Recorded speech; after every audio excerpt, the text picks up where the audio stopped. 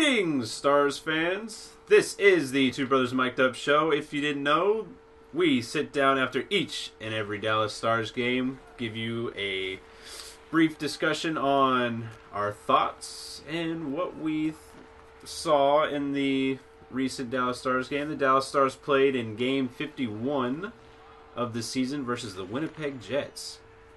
Stars win 5 to 3. As always, we start off each video with a prediction that we give on the last video, so always stick around towards the end. That's whenever we give our predictions. Quinn, you like to score a 4 to 2 for the Stars. You like to score a 3 to 2 for the Jets. I like to score a 4 to 1 for the Stars and 2 to nothing for the Jets. We we kind of thought that out of the All-Star break that the Stars will, will have gotten that rest and we would try to see if they would return to form, at least getting over their average of the three goals a game. And which they did. They got five goals. One was an empty netter. Let's start with the weekend and talk a little All Star break. So, the three Dallas Stars that were at the All Star weekend Jamie Benn, Tyler Seguin, and Lindy Ruff. You honestly didn't see much out of Lindy Ruff, which, I mean, I guess you don't really see much of the coaches, anyways, at the All Star games, but Lindy was kind of like not even a story out there, really. But we get uh, Jamie Benn doing the accuracy challenge and then the saucer pass into nets uh, part of the relay. And then Tyler Seguin does the hardest shot and he does the stick handling between uh, the pucks on the last leg of the relay. Now, you didn't get to see any of it, uh, any of it because you were in Austin, right? Exactly. Okay. So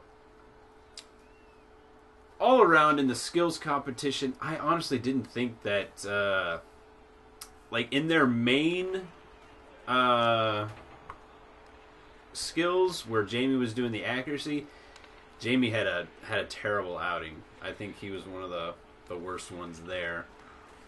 Um and Tyler he had a 95 an hour mile an hour slap shot. Do you like that out of Seguin? Do you think it could be higher, or did you think that was not as high as you thought it was going to be? I mean, I think it could go like anywhere from like 90 to 95 for him. I think he it's I know he has a hard shot, but I think his shot's more about just that that timing and the accuracy from the one-timer. Right. And then uh, going into Jamie Benn was actually a lot better doing the the saucer pass into the the mini nets, which you would think would actually be harder than just shooting at the uh, the targets. But who am I to say? Uh, Seguin had a good outing on the uh, stick handling. That was pretty good. Now, in the actual game, I think Tyler Seguin comes away with a goal and a couple assists. He had a really, really good assist too. Dustin Byfuglien, tying into the Winnipeg Jets game. So he had a great pass to Byfuglien with Byfuglien streaking in and just sticking his stick out and tapping it over the goalie. I thought one of the best uh, goals of the All Star game because it just truly showed the skill that was going on. And then the whole spectacle of John Scott.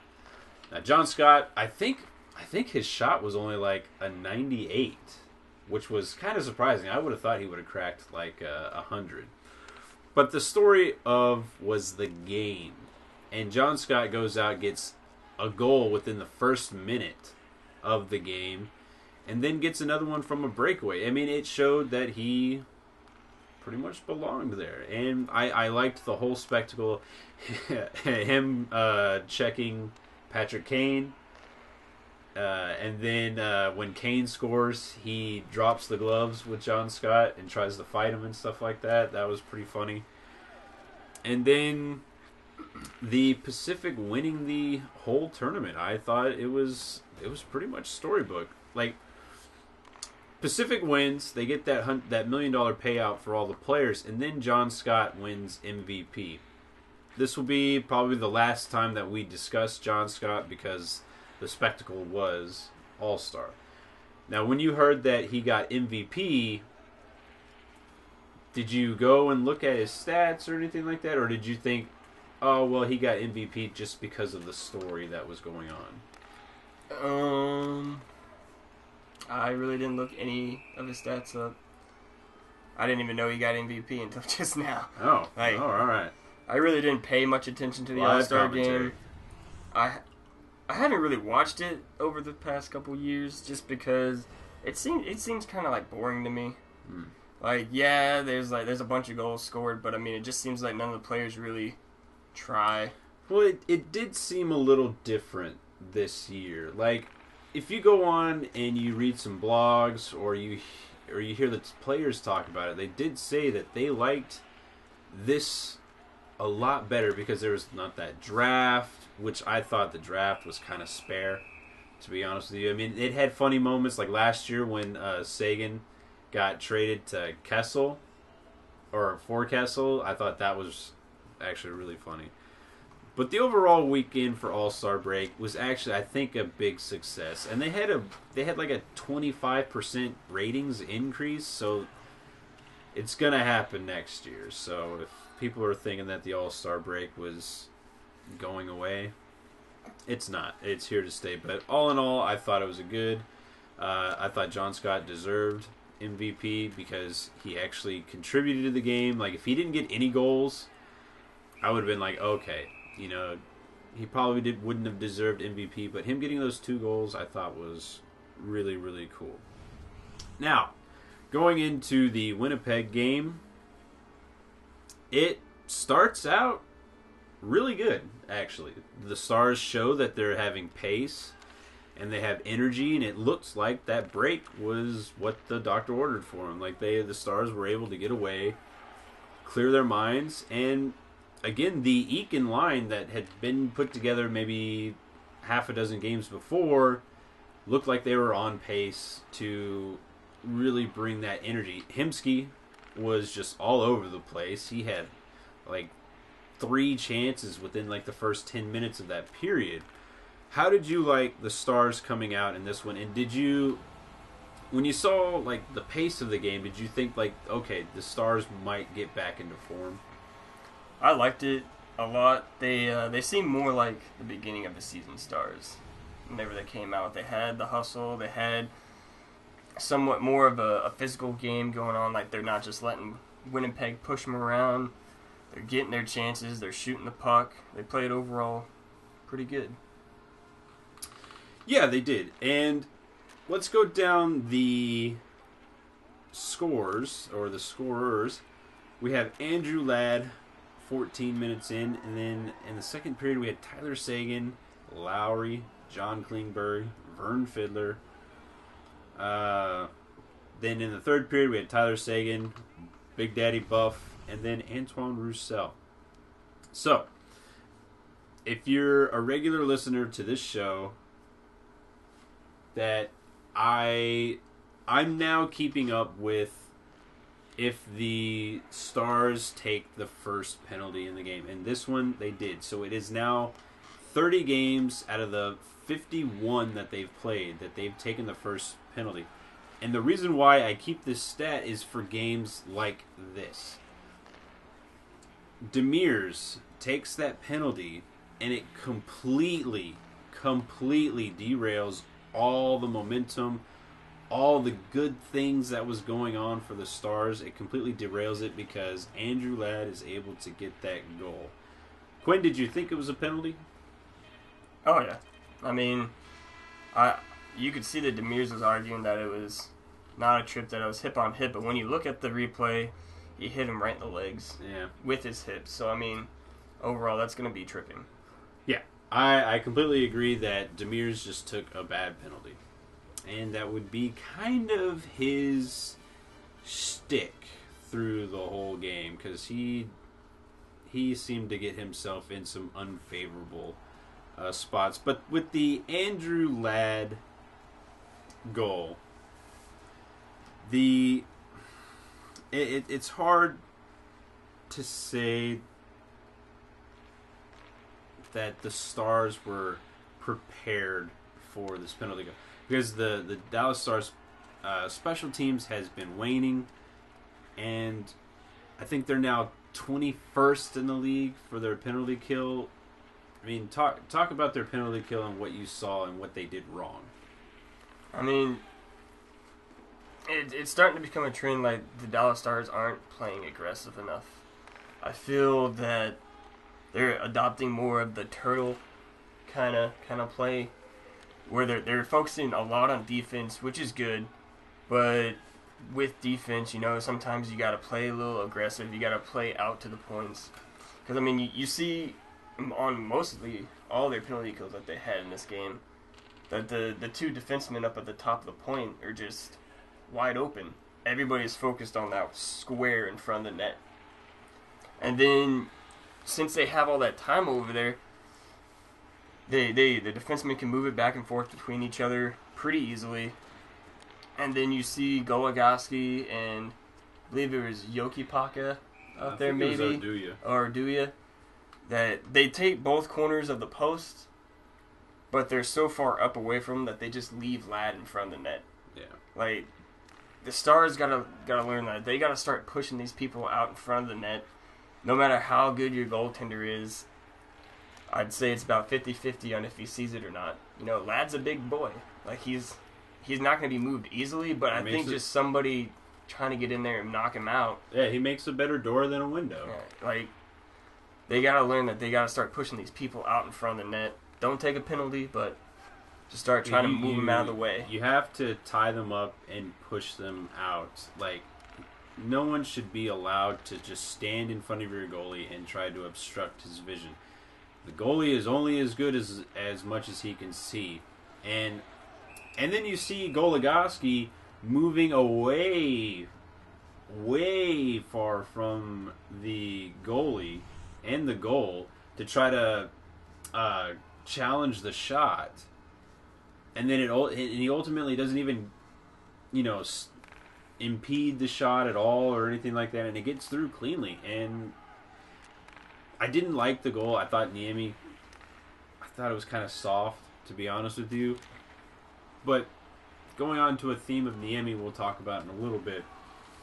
But Tyler Seguin is able to answer the call uh a minute into the second period. Tyler Seguin gets that wicked one timer from the Brett Hull uh, position, and he hits it so hard that it pops out of the goal, and only Seguin knows he scored for like that split second. Like it was in, it was out, and that was good because in the first period he had that shot. In the previous like what ten games, he's been in that position for that shot, and he has missed it. Like especially in the first period, he was getting all that timing down wrong, or he was putting it in places, wasn't hitting the net, was getting mostly glass with a lot of it. But on that one, you could tell that he really just stuck it in there. Uh, he got the puck right in his wheelhouse and was just able to spank it as hard as he possibly could. And it was good seeing that because this team's success is built on the back of Jamie Benn and Tyler Seguin. Now, Jamie Benn, he had a quieter game. He had a quieter game. Nothing on really on the uh, on the score sheet, but you know, I I didn't mind his game because like the past you know couple of weeks, his game has been kind of not so awesome. But let's go. Let's go to the defense. Going into the second period, uh, we talk about positioning. We talk about heads on a swivel. Dallas's defense really didn't have that. There was a lot of breakaways, especially victimizing the top two pairs, which it's usually right now it's been the top just the top pair, but uh Demers and Oduya got burned a couple of times as well. And but I, I honestly think it, it's it's a lot. I think the Klingberg and Goligoski, how I think it's starting to drip down into the other pairs. What do you think about that? Like, mm. talk about the overall defense in this game. Like I said from from the beginning, I I just don't like that pair defense together. Like they're they're both good offensively, yes, but their offense is starting to take a toll on their defense. They're not they're not playing defense together. One may be playing defense, and the other one's just out there, and then the other one may be playing defense, and the other one's just out there. They're not playing. They're not a team. It seems like that they're both lacking something that needs to be filled by somebody else.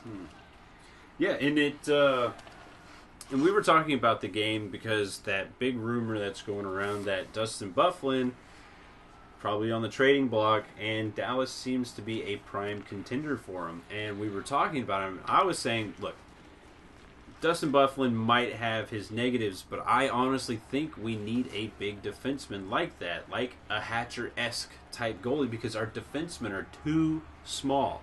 They're too finesse and not enough grit. And we see that on the Jets' second goal.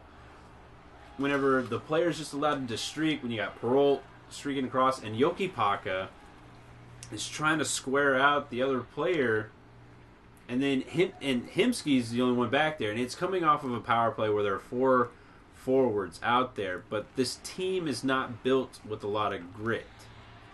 And we see Hemsky gets completely boxed out, doesn't really do anything, and then Spezza comes and picks up the puck and then just lets it roll off his stick, and then he just continues around the net. There's no one there in front to box out. Uh, who was it? Lowry that scored it a show of strength uh, completely changes that play. If Jokipakka is stronger and is able to get that player out of there, that the puck is covered. No matter what Spezza does with that puck, I think that puck gets covered. Um, but going on that, I mean, would you like Byfuglien here? Oh yeah, I would like any big body defenseman on this team. You know, I know it'll never happen, but like your Shea Webbers, those are the kind of defense that this team needs to be pure playoff contenders. The defense we have right now are not playoff contenders. Yeah. I don't care how many people like Goligoski. He he can be a part of the playoff contender, He just can't be the but prime he, guy. he's not the prime guy. Yeah. No, I, I completely agree. His he started out he he started out hot at the beginning of the season. I I was honestly retracting a lot of the negative stuff that I've said about him because he it looked like he was turning the page on all that negativity that he was getting a lot from this fan base. But during January, holy crap, he, he decided, you know what, let's go back to the last chapter and let's revisit that for a while. And, and in this game, I didn't see him trying to turn the page at all. It looked like the same Goligoski. I think Goligoski needs to go. I, I honestly do. And to see a Byfuglien, and we were talking to someone uh, yesterday about maybe Phaneuf might be coming here. So I like the thought of Phaneuf coming here. We don't need someone. If if your ultimate knock against like a Phaneuf or Byfuglien is like, well, they don't score enough, or this this is a high offense. Oh, Byfuglien can score Team- against the Stars. Exactly. I mean, Byfuglien has like 15 goals this season. That's I mean, that's more than any of the defensemen that we have right now. That's that's more than our top two combined. Yeah. So if your knock on them is like they're not going to contribute to the offense, we don't need them to contribute to the offense. We have tons of offense. We just need one big bad dude that comes in here with a tude and just wants to knock heads. And we see that with Byfuglien with the the Sceviour hit which I think a lot of people are going to find this controversial whenever I say it looked pretty good on his shoulder. It looked pretty good on his shoulder, and it uh-huh. only looked violent because his head gets rammed over into the boards. Was it a penalty? Yes. I do think it was a penalty. Yes, it was boarding. but I there, I did not see the primary target was his head. We Yeah, see- you can definitely see in the replay too. It's shoulder to shoulder contact first. So it's it's violent because Sceviour's a small guy and Byfuglien's a big guy. That's why it's so violent. And when Janmark tried to skate by him and Byfuglien just sticks his arm out and Heisman's him and he just falls flat on his back, I mean, we need someone like that. I'd much rather Byfuglien be on our team than us playing against him. Oh yeah. So moving on, we go to the three on zero breakaway, which, uh, as everyone else was probably saying last night, don't really see that all that often. And uh, Especially shorthanded. and with two defensemen, two defensemen leading the rush, and one and the other player doesn't have a stick. So it's basically a two and a half on O breakaway. And the goalie kind of just doesn't even play it all that well. He like he sets, he has his glove up in the air, and he's like, "Please God, just let this hit me." You pulled a small some sandlot. Yeah, Just stick your glove in there, and I'll do the rest. Well, but like like I was telling you earlier, it's whenever we were watching the highlights, it's uh, it kind of seems like maybe you know he since he thinks that they're so close in, you know, yeah, Klingberg can't roof it over me from that point. But you know we've seen him do it before in Minnesota in overtime. yep. Like it, like he's he can do it. So I think that might have been going through the goalie's head, but I mean we were gonna have a penalty uh, power play after that anyways. So, but I'm glad they got the goal. Oh yeah, I I I will take that anytime. And then we follow up right after. We get a Vernon Fiddler goal for his seventh of the season, his first in ten games.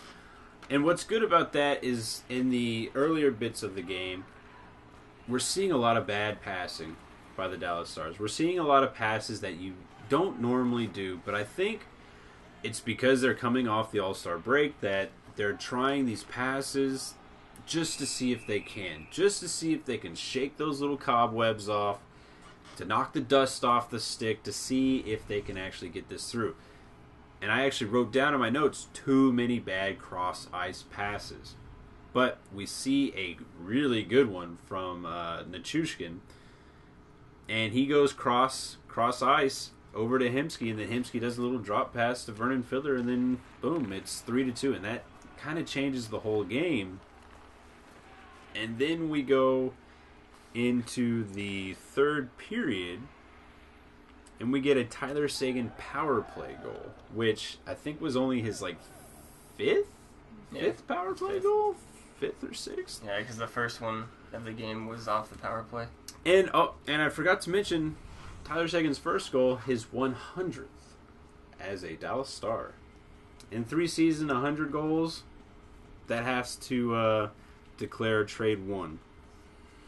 And then uh, we get through half of that period, and Dustin Byfuglien spanks a puck past Niemi. And okay, going into Niemi, without Niemi, the Stars lose. Without Niemi, the Stars absolutely lose this game, and I think that's great because Niemi is now going to start seeing the majority of the games. I think he's played what four out of the past five, and so this will make five out of the past six. And they're they're. I think the message is now, Kari, you're the backup, and you will come in probably on back-to-back nights, which I mean, it, they will probably use him a lot this month, but not as much as uh, we saw through the first like three months of the of the of the season. I mean, I loved I loved the start for Niemi. I think he's deserved it. So overall, do you with the the puck luck that the Stars were getting, with the good goaltending, but with the average defense. I mean, do do the Stars move on to Colorado, which they have not beaten in like what twenty years? It seems. Do the, can they move to Colorado and work off this game? Offensively, yes. Defensively, I think it's just going to be the same. I think they're going to have their breakdowns. Not to sound negative or anything, but I do I do feel like they'll work on a little bit more defensively in their practice that they have, hopefully. But I, I just honestly think that something needs to happen to that top pair. Yeah, I think uh, I think a shakeup is in call for it. So let's talking about February and putting January behind us. Let's look at the Stars' upcoming schedule. They have Colorado, Chicago, Minnesota, Chicago, Washington, Nashville, St. Louis, Coy- the Arizona Coyotes, Boston, and a home and home against the Jets. That it has to be the toughest schedule for any hockey team. And the Stars have to be absolutely counting their blessings that they were able to build up that point lead because if we thought January was bad, this month could prove to absolutely break this team if they don't start playing better. Don't get me wrong. The Stars did play good in the Winnipeg game, but if they come out this this could actually be like the beginning of the season. Um, the Stars go out and beat Pittsburgh, but then they get their asses kicked in the third period against Colorado for a 6-3 loss, but then they go on an absolute tear. So if we're counting it as you know, there are two different seasons, pre All-Star and post All-Star. If we're going off of what happened at the beginning of the season, if we lose against Colorado, it could set up a big run. But I would much rather beat Colorado. Let's go into the ratings of this game. What rating did you give this game? You know, I I was debating between a C plus and a B minus, I think I'm gonna go with a B minus. Just because the the goals kept them in this game, Niemi kept them in this game. They played good in the first like 12 minutes of the game, but this team needs to start learning to pick up their heads when a, when a penalty is taken, not let it shake them. Work some defensive drills, and I think they'll they'll start to pull together. Yeah, I also uh, gave it a B minus. I think on the backs of Niemi and the waking up of Tyler Seguin.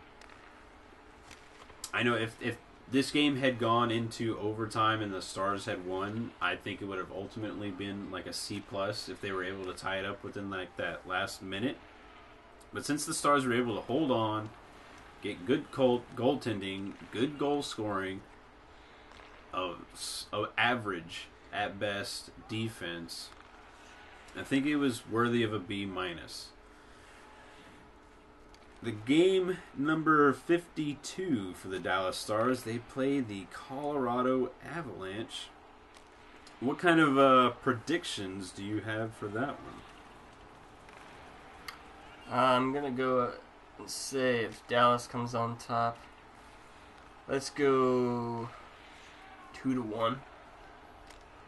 And if Colorado wins, I think it's gonna be three to nothing. Interesting. Uh, I I like a score of three to two for Dallas if they come on top. Um, I think it'll be a tight game like it is, since both uh, both games of the season were pretty tight. And if the Stars lose, it's going to be in horrific fashion. And I'm going to say it's going to be five to two. So that's the discussion. Be sure to subscribe, share the video wherever you would like. Click the like button if you liked it. Tell your friends, tell your dog, listen in your car going to work. Listen it to yourself in the shower, whatever that means. Remember, this is a show for fans by fans of the Dallas Stars. And as always, tune in next time.